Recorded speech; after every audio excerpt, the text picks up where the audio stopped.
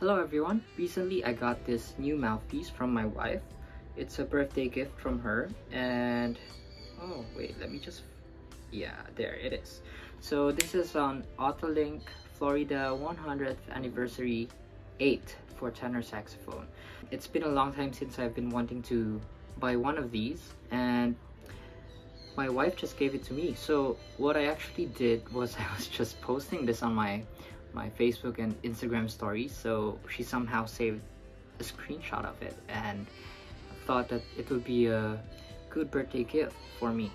Yeah, all thanks to Better Sax who posted a video about what to give to saxophonists. Yeah, my wife got an my wife got an inspiration from that video. So apparently when I've tried this, um, it played well, but there are some some specs that needed to be corrected. Um, the side rails are a bit a bit thin. I mean, it's thin, but not too thin, and it's not really a negative thing. But the reed is actually wider than the side rail, so I have to correct that. And the table is very concave, so I did a bit of checking, and I don't know if you can see this. Maybe you can see it. So. Uh, I hope you can you guys can see this. So I did a bit of checking with this one and the table is very concave. So as you can see the meeting points of just so the meeting point of the reed is actually around the white spot here and in here. That's quite a big concave gap. So let me just fix that later and I'll do a bit of sound testing. So you'll hear in this video the before and after I did some reface work. Uh, it's not really a reface, it's more of like corrective, uh, corrective reface work.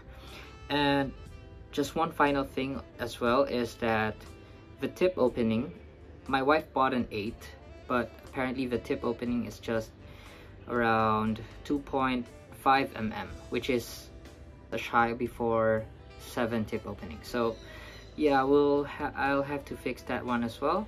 So I will fix that later and I hope you guys enjoy listening to the audios and the video.